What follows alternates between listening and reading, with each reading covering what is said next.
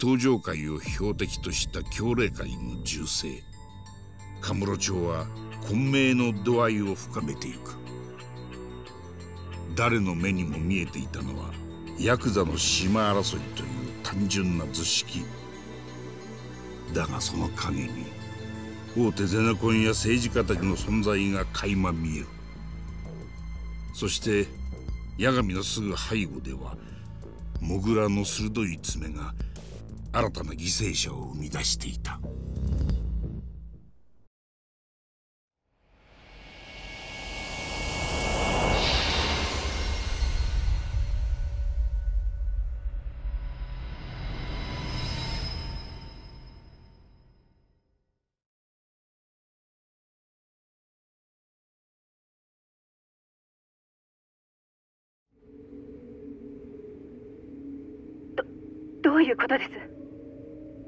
先生がでも八神さんさっきは大丈夫だって。なあ沙織さん。俺もまだよく飲み込めてないんだ。ただ犯人はモグラだと警察に通報は？いやこれから。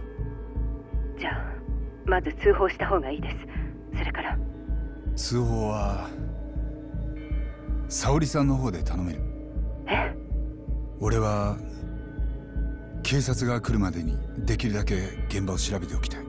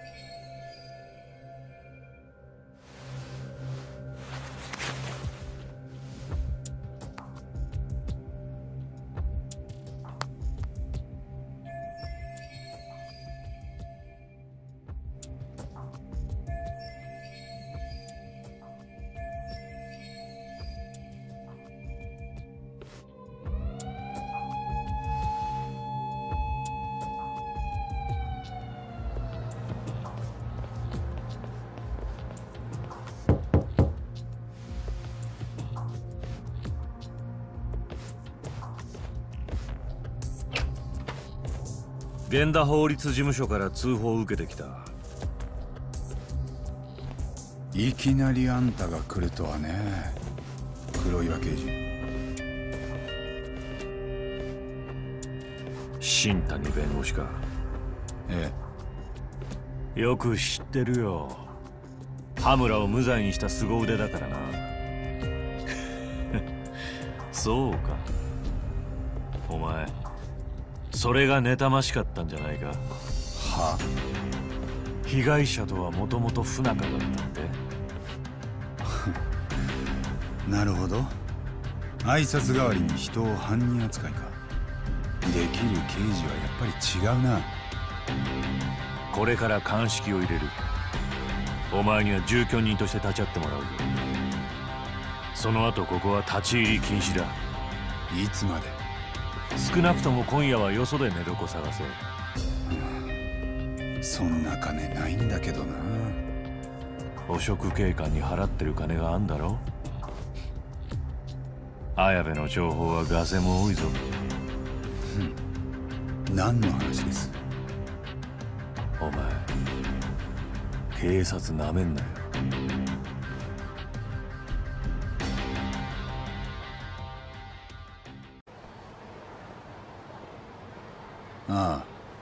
さっきまで警察の捜査に立ち会ってて。源田先生はまだ事務所に？ええ。八神さんから新谷先生の話を聞きたいって。私も同じです。星野君も。分かってる。今からそっちに行くから。じゃあまた後で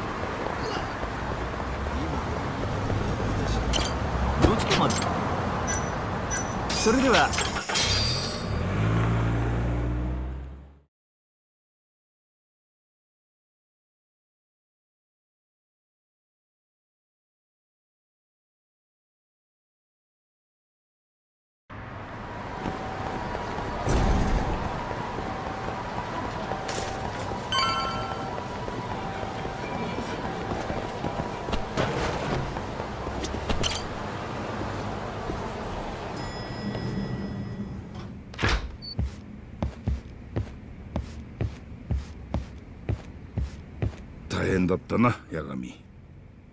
疲れてるとこ悪いがよ。新谷のことを話してくれるか？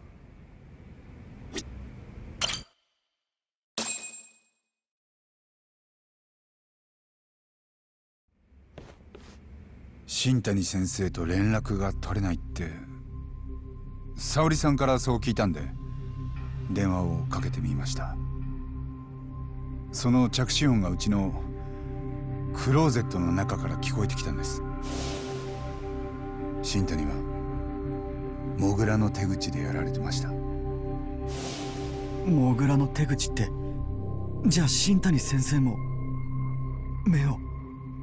ええ。えぐられてた。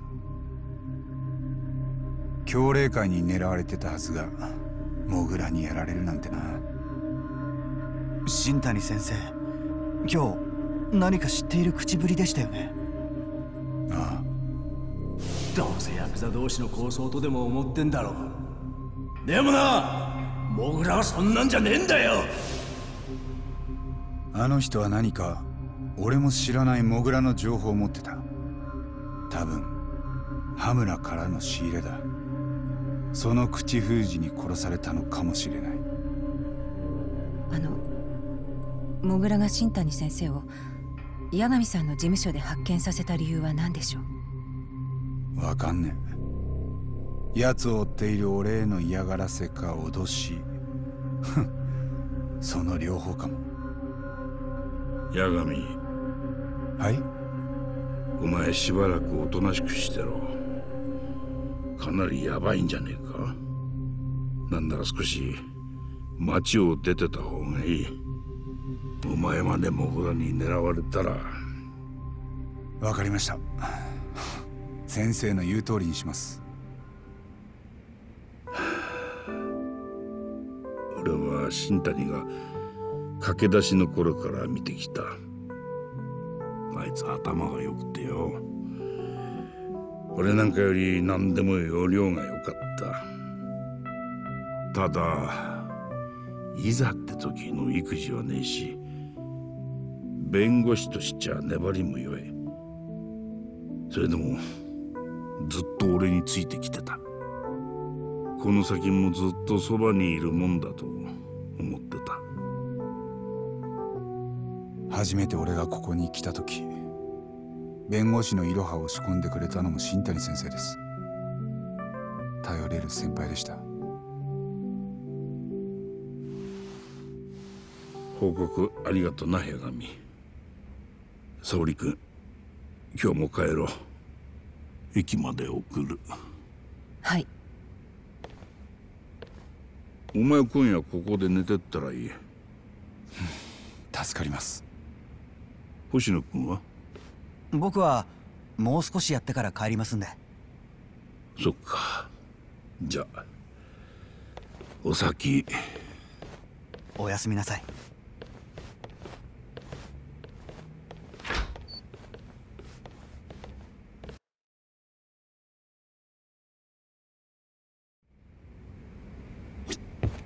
この事務所八神さんの自由に使っていいですから。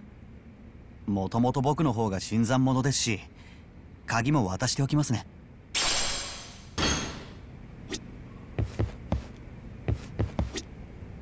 あのちょっとだけ話させてもらっていいですか？ああ話って？ええ。新谷先生の件なんですけど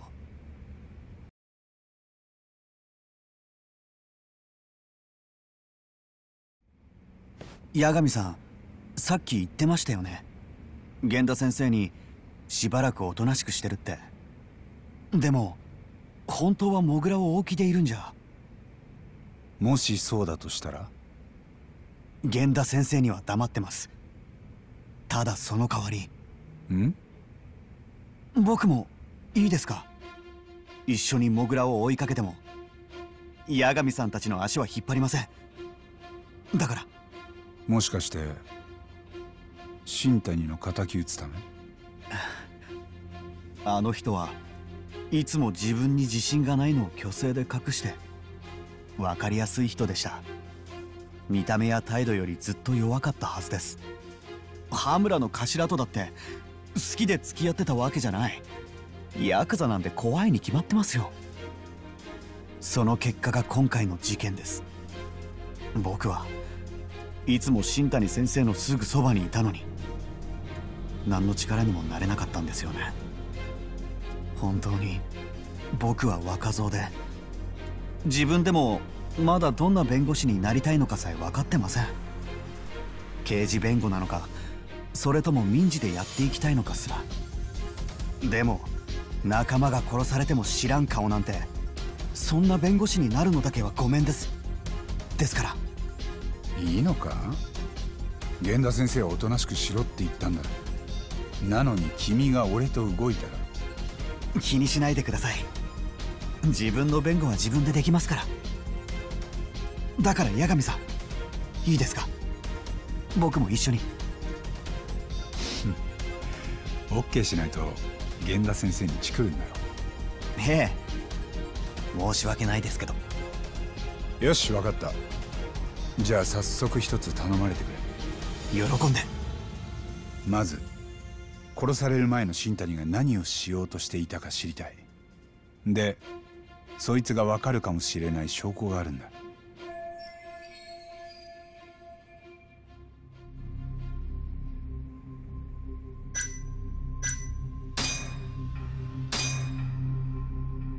今日新谷がスマホからかけてた電話番号。これがどこのものなのか知りたい。なるほど。了解です。でも運が良かったですね。犯人がスマホを残すなんてミスしてくれてこうやって通話履歴も見れるし。いやミスじゃない。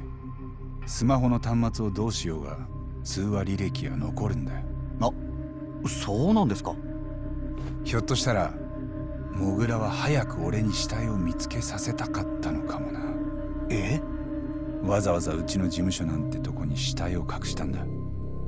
どんな騒ぎになるかすぐ見たかった。とか。あさっきの電話番号ネットにありました。先端創薬開発センター。そこの代表番号ですね。なんだって。知ってる場所ですか？3年前その創薬センターで殺人があった。入院中の患者がそこで殺されて山に捨てられたんだ。そして捕まった犯人が大久保新平。大久保ってあ八神さんが弁護したあの？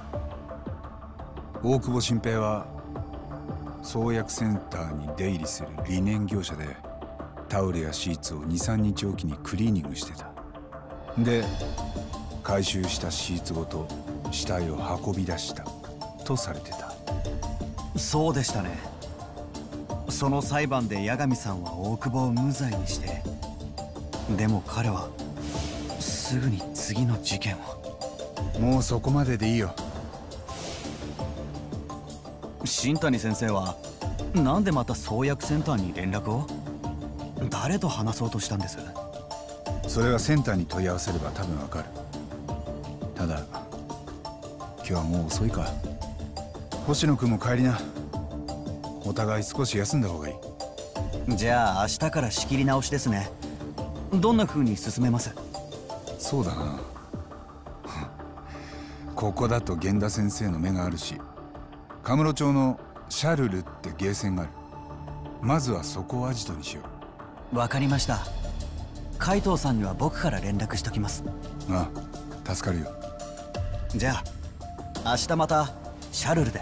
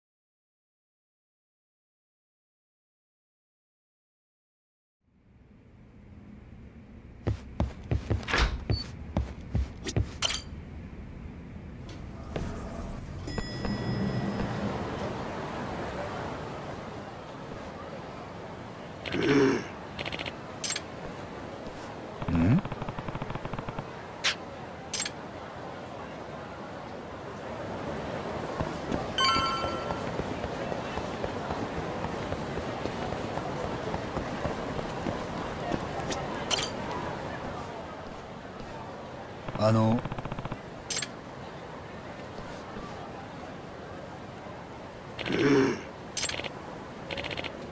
うん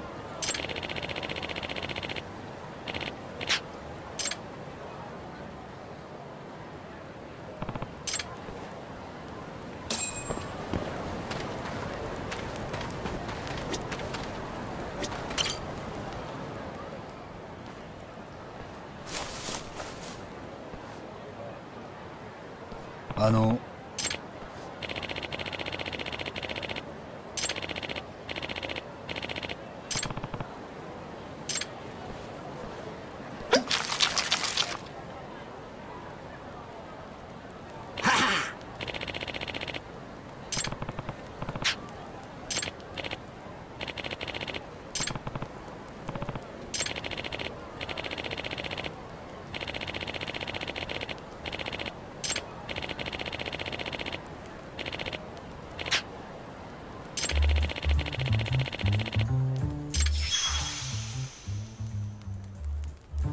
八神です。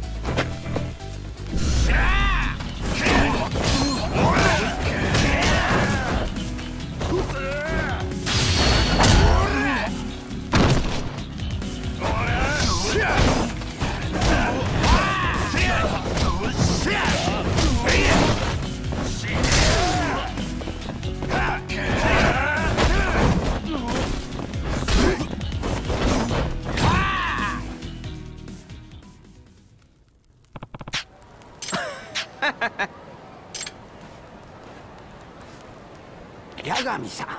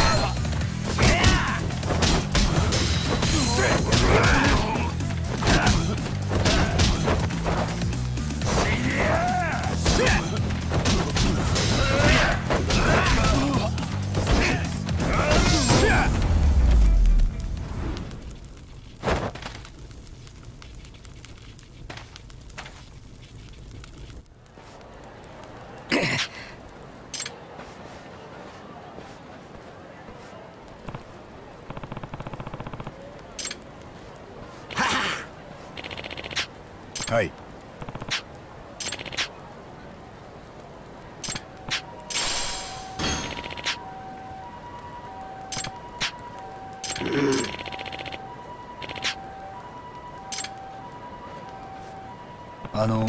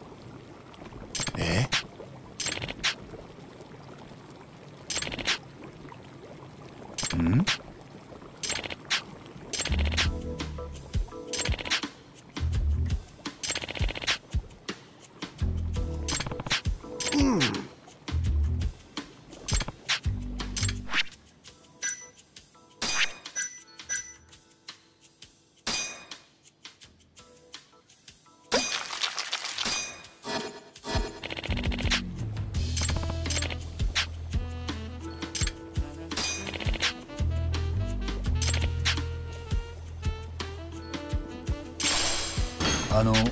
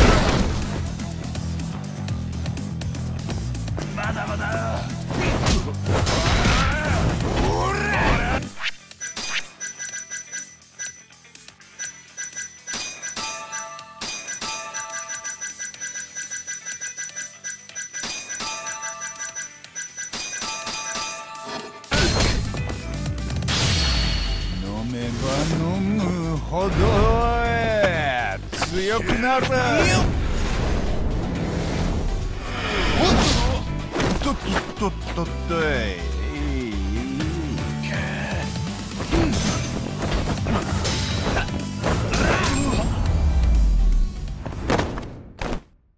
といいい加減にしろよ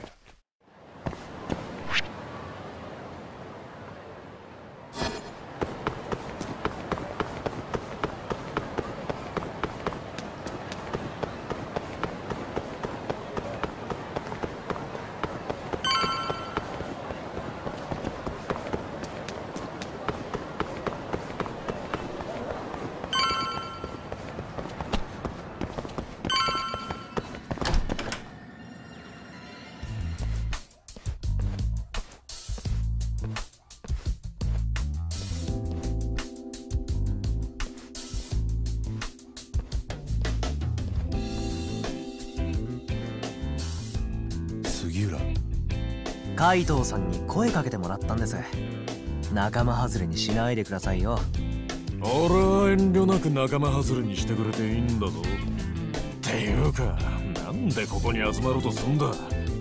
でもいい人ですよね東さんって。そう言いながらちゃんと場所貸してくれるんだから。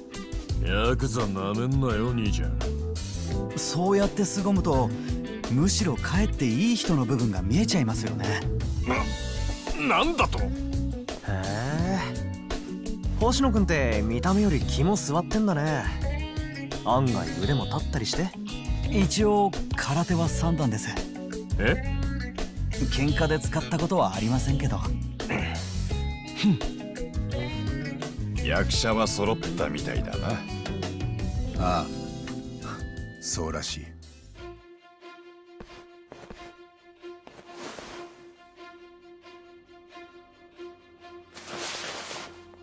源田法律事務所の新谷弁護士が殺された。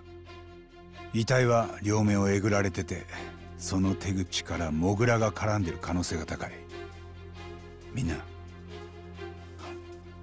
手貸してくれるか？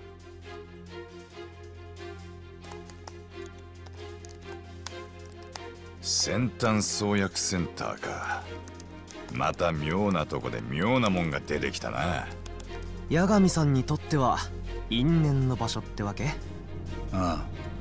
新谷が殺される直前なぜかその創薬センターに電話をかけてた。創薬センターって去年テレビで騒がれてたね。確かノーベル賞ものの新薬を作ってるとかで。ええ。これですよ。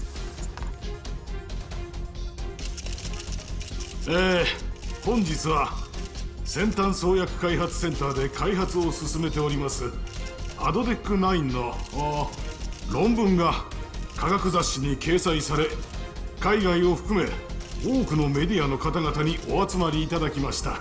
認知症の新薬でアドテック9センター長の木戸博士がその論文を発表したんです。まだ動物実験の段階ですけど認知症の実験マウスをほぼ正常に回復させたと。この笑顔でフラッシュ浴びてるのが木戸博士です。神経脳生理学の世界的な権威でアドデック9論文の筆頭著者。3年前大久保事件の時センターを案内してもらった。その時から木戸はセンター長だったよ。今はアドデック9の完成に向けて厚生労働省が予算枠を強化してるみたいですね。創薬センターの建物。今度また一気に増築するようです。景気のいい話だなだがよ。そんなとこにあの新谷がなんで電話してたんだ？それをこれから確かめるんでしょ？センターに問い合わせてさ。てめ人の電話勝手に。まず新谷さんがセンターの誰宛てに電話をかけたからね。ああそれを電話だけでどう聞き出したもんかな。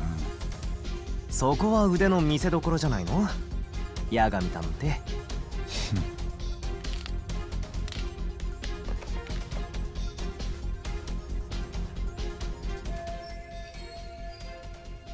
先端創薬開発センター総合受付でございます。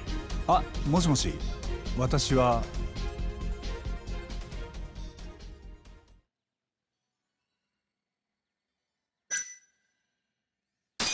八神探偵事務所の八神と申します。あはい。昨日弁護士の新谷という者からそちらに電話があったと思うんですが彼と話をされた方につないでいただけますでしょうか？個人情報になりますのでそういったことにはお答えいたしかねます。実は新谷弁護士は昨日とある事件で亡くなりまして彼が最後に電話した先がそちらの番号だったのでお電話差し上げてる次第です。個人情報ですのでもし警察からの捜査要請でも電話では対応いたしかねます。申し訳ございません。そうですか。わかりました。うん。電話じゃ難しいな。もう創薬センターに直接行った方が早い。行けばなんとかなるの？俺も一応センター長とは面識もあるし最悪無駄足でも構わないんだから。僕も行きますよ八神さん。ほんじゃ俺は東と松金組の様子でも探っとくか。羽村の頭が消えたままだしな。なんだよ。また勝手にそんな。そういえばさ八神さんが無罪にした大久保新平だっけ？今はどうしてるの？拘置所にいる。死刑囚は刑が執行されるまでずっとそこだ。八神さん面会に行ったりとかは？いや俺は一度も。なんでそんなこと聞くんだ？大久保って実際どんな人だったのかと思って結構ニュースでも騒がれた事件だったから。八神さん大久保を無罪にした時本当はどう思ってたの？マジで無実と思ってた？多分な。でもその後あいつ恋人を殺しちゃったんでしょ。それも八神さんが弁護してたよね。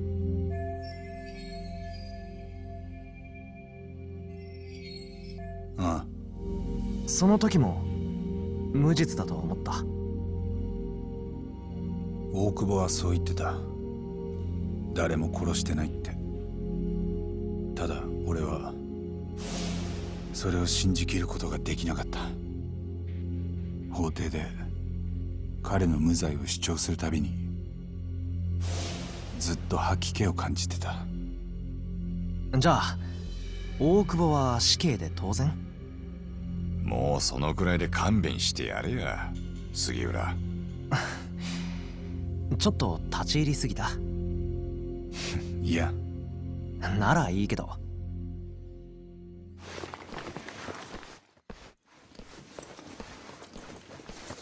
あの八神さん。すぐ行きますよね。創薬センター。僕先行ってタクシー捕まえておきますから。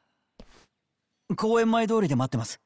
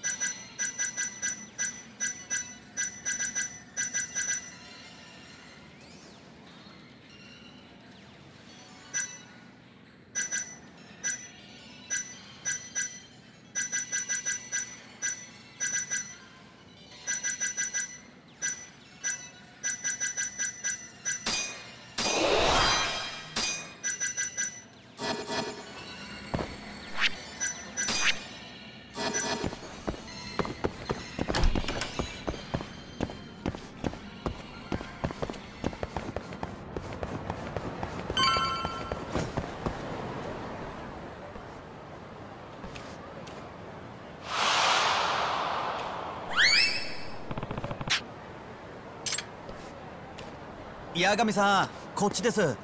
タクシー捕まえました。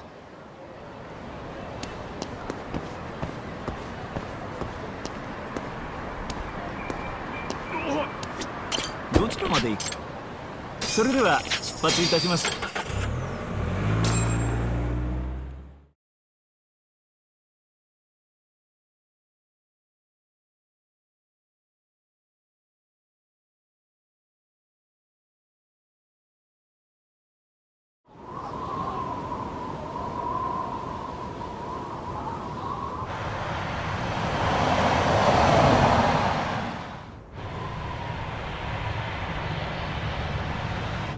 話には聞いてましたけど創薬センターもなんか大きい組織の一部なんですってね。医療システム産業開発機構でしたっけ？ああ。さっきからずっとその敷地を走ってる。あるとこにはあるんですね。すでにこれだけ立派なのに例の新薬でさらに予算強化ですよ。どうです？前と変わりないですか？ああ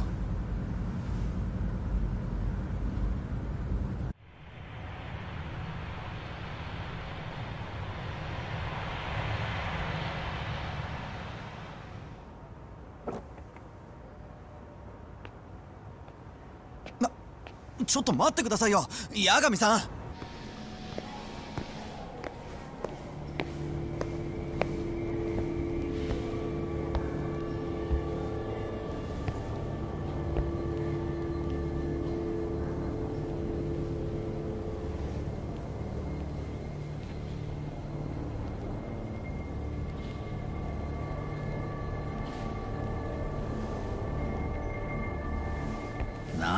緊張してんだ。お前は俺のお供でいりゃいいんだぞ。八神。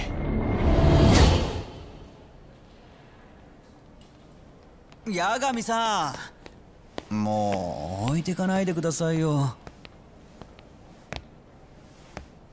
どうかしました？いや3年前と変わってなくてね。はい？ここは時間が止まってたみたいだ。八神さん。行こう。あそこに受付がある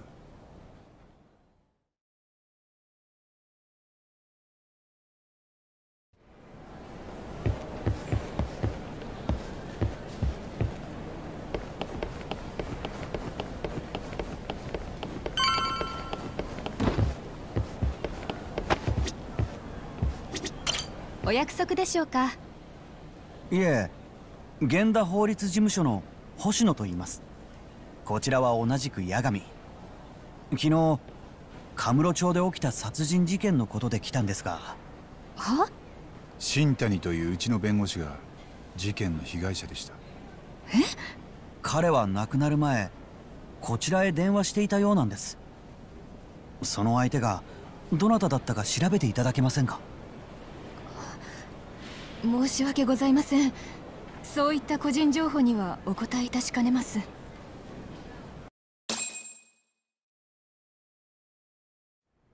ならセンター長の木戸さんと話せますか？以前お会いしたことがあります。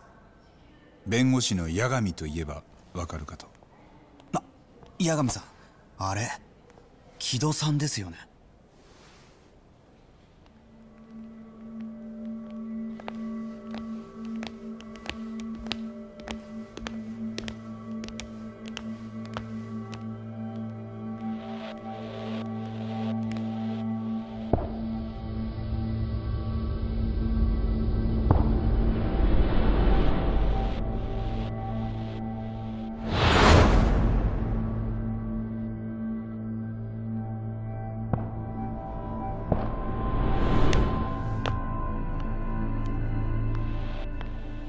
加減。あとはそっちでやってもらいたいんだけどね。うちはもう事件のこと全部警察に話してるんだから。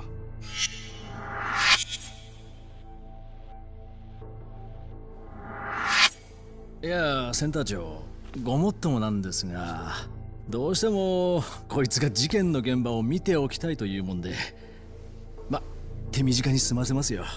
調子いいこと言わないでください。俺は納得いくまでやりますよ。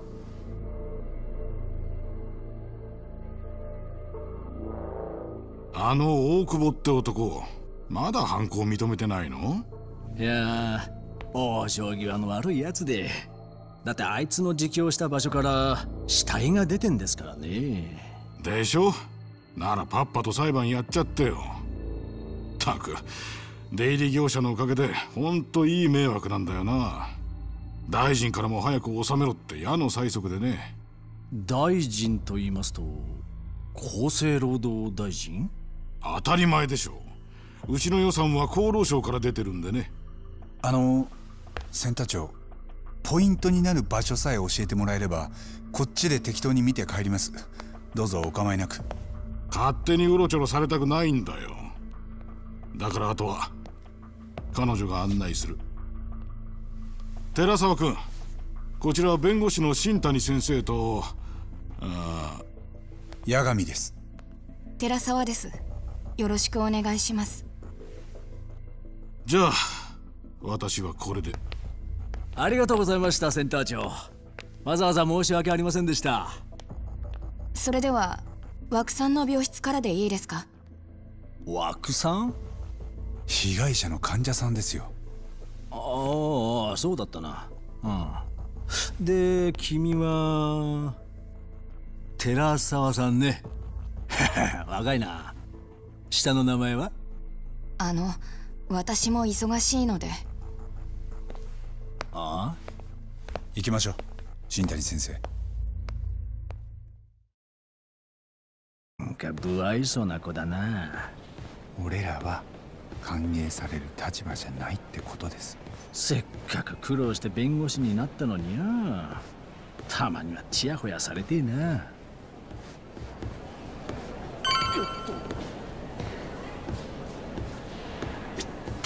少し歩きます。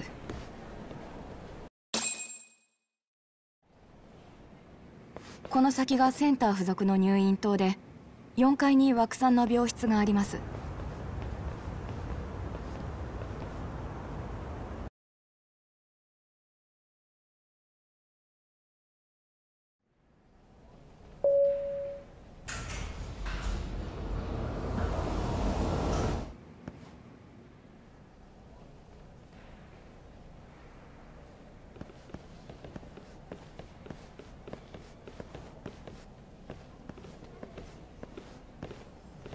こちらが枠さんの病室でした。あちらは？そっちの奥は開発研究棟です。新薬の開発をしている。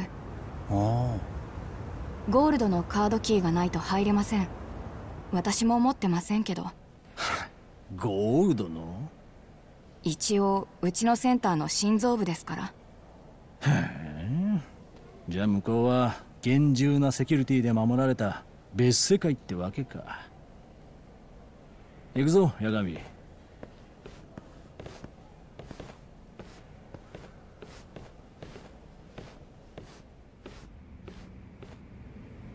亡くなった枠さんはこの個室に入院されていました。それはいつ頃から？2年前です。アルツハイマーで。認知症ってことねアルツハイマーはいくつかある認知症のタイプの一つです。ただ認知症の7割はアルツハイマー病ですから。やっぱり似たようなもんだろよしじゃあ八神好きなだけ調べていけよ。どこだ？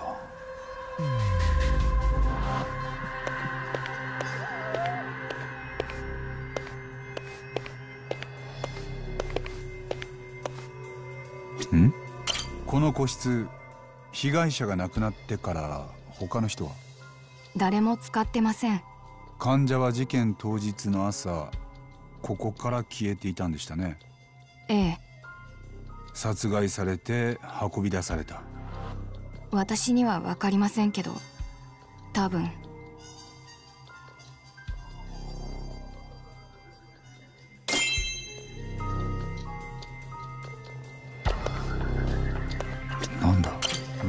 ははめ殺し。枠さんが窓から抜け出したってことはないな。こ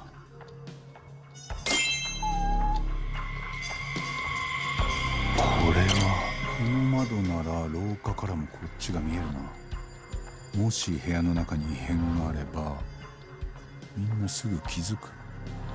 スタッフが少ないのですぐかどうかは廊下はよく人が歩いてますけど認知症患者の方がほとんどなんです。なるほど。廊下からだとどんな風に見えるのかな？部屋に異変があれば廊下から見えるか？部屋の中はもういいだろう。十分だ。そうですね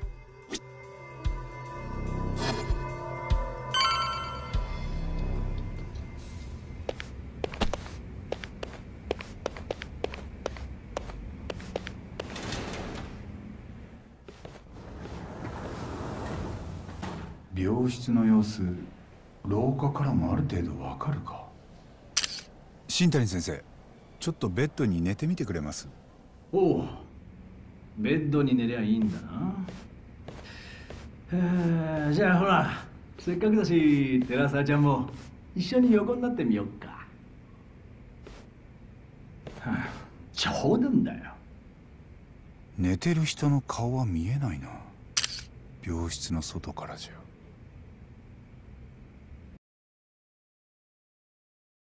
は あなあ別に新しい手がかりなんてなかったろ。いえ現場見なきゃわからないこともありましたよ。もう事件から日が経ってるし警察もやることやってんだ。大久保新平は黒だよ。本人は無実を訴えてます。でも事件を整理してみりゃその可能性は相当低い。一度事件を振り返ってみるかここで一旦事件を整理してみます。おう望むところだ。